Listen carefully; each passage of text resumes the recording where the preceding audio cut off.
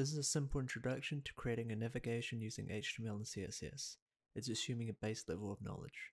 First, set up a quick project with some default HTML5 and CSS. We have two folders, sorry, files called index.html and styles.css.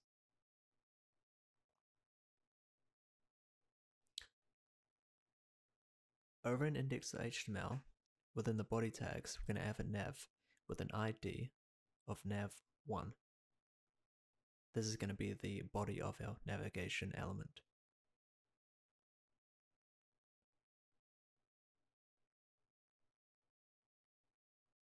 You can give it a class name if you like instead of an ID, it doesn't really matter too much. Next, we're going to add a logo, so we're going to add a header 1 with an ID of nav1 logo and give it a title. Any title will do. It's the logo of your website. After that, we are going to want to add an unordered list. This is going to be the links for the page, like home, contact, etc. Make sure you add in all the links that you would like within your navigation. Uh, for this tutorial, we'll just do home, about, shop, and contact.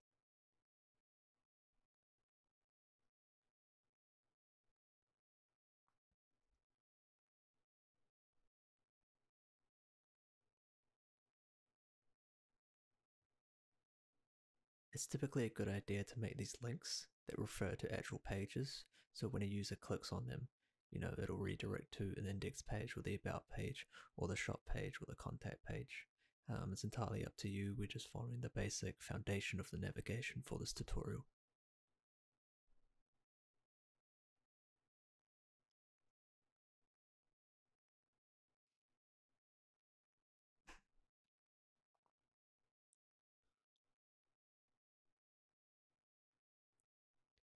If you want it to be a link, but not actually go anywhere, just give it a hashtag. That'll just represent uh, stay on the current page, but still make it identify as a link, so a clickable object.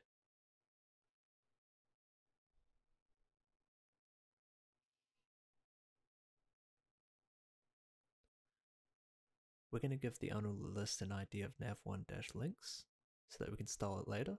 And we're going to give the homepage link a class name or an ID name of active. This will just allow us to make it bold or colored to show the user what page they're currently on. So for example, if you're on the about.ind uh, sorry, about.html, you would give the about the active class and not the home page. Next, let's go to our CSS and uh, reference that navigation element. We're going to give it a width of 100% and we're also going to set the position to sticky.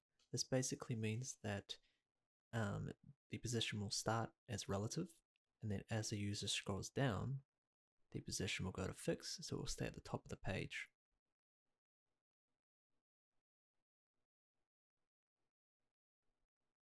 Uh, let's set the height to 80 pixels. It's typically a good height for navigations on uh, desktop. And set the background uh, color to whatever you like. On VS Code, just type in a random uh, hex color code, and then you can use the color panel here to just select whatever, whatever color you want more easily.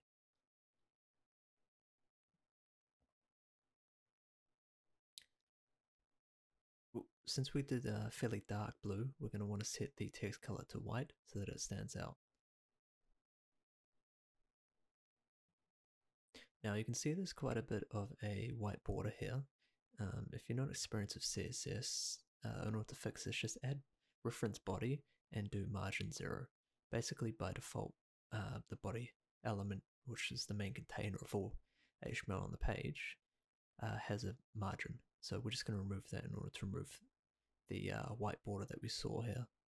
So you refreshed it, you can see the sides have now stretched to the full width of the screen um, but there's still a white spacing at the top.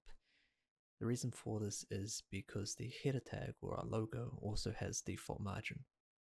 So let's reference it, it's called nav1-logo.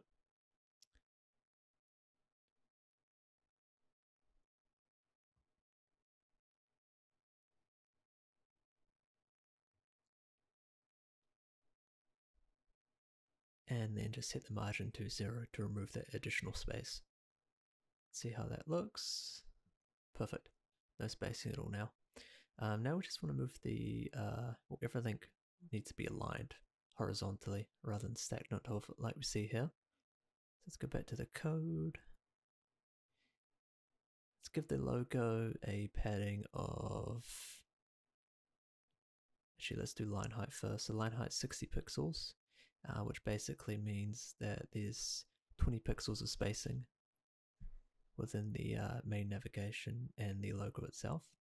So we'll just give a padding of top bottom 10 pixels, top 10 pixels, bottom 10 pixels. So in total 60% plus 20%, sorry, 60 pixels plus 20 pixels equals to the navigation height of 80 pixels. Um, it's probably easier if we just put that in navigation element itself uh, because then we can also specify the horizontal padding, left and right padding. We should just do 20 VW, which is similar to 20 pixels. Just a bit more consistent with the uh, page itself. Uh, because we didn't specify box size and we can see it kind of going off the page, uh, it's basically doing width plus padding and height plus padding we want the padding to be taken out of the width and the height.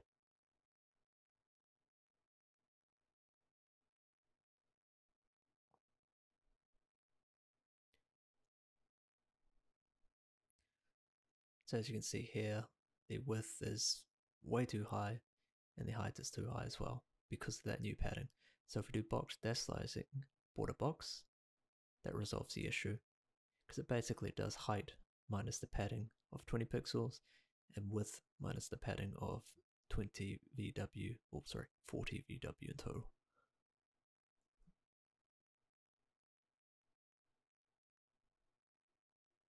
And that resolved the issue. You can see our uh, list elements have disappeared. We need them to move over to the right side of the screen, which is actually fairly simple, but newer developers may find this difficult which is the reason I made this tutorial. So go ahead and add display inline grid. That's going to make an, uh, a grid which we can specify locations for these different elements. So our logo will be on the left side and our list will be on the right side. So let's reference that list.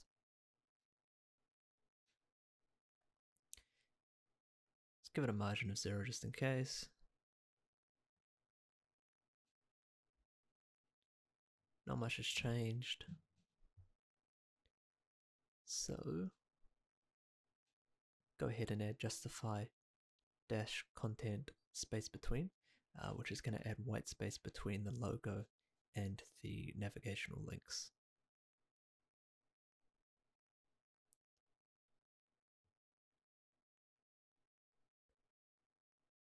We didn't actually specify the columns, which is why that didn't work. So just do grid template columns, auto order, which represents two columns. The first column is the logo, the second column is the list.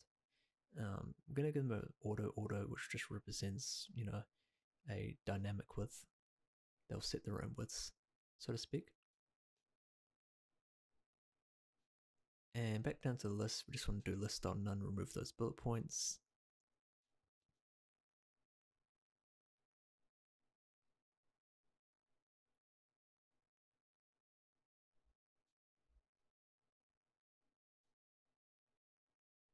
And uh, because we want to make those list elements horizontal, we'll just do inline flex, which is very similar to the approach we did for inline grid. Um, I just wanted to show a kind of a different way to do it. So if, for this, we need to add flex direction column. Don't need to specify how many columns, we just need to specify uh, the direction that we want it to be.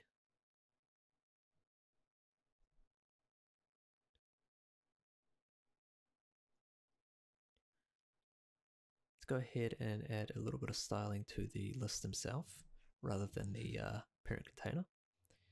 Uh, remove the padding, just with padding dash left zero, there's automatically uh, some default there. And just do display inline just because these are single elements.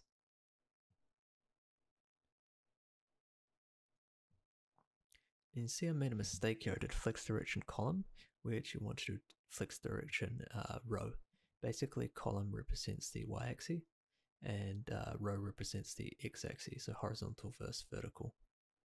We want it to be horizontal, so we'll use row. Remember for the logo we did a line height of 60 pixels, the same needs to be done for the lists themselves. This will vertically center them.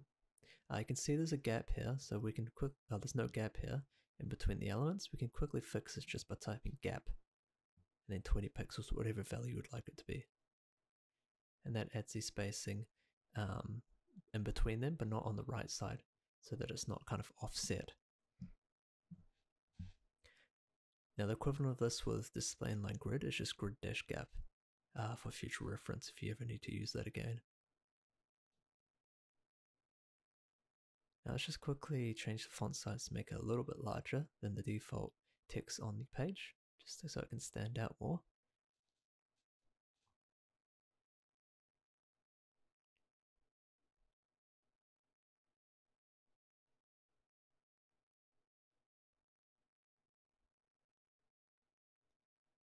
As you can see, it's starting to look way, way, way better. Uh, last thing we want to do is set a new class called active and just do font weight bold or whatever styling you want it to be. This just represents the active page. So in this case, we're on index, so the home page is active. If you did the same on about, then you'd want to add the class name to the about uh, list element there. And it basically just a visual cue for the user to show them which page they're on.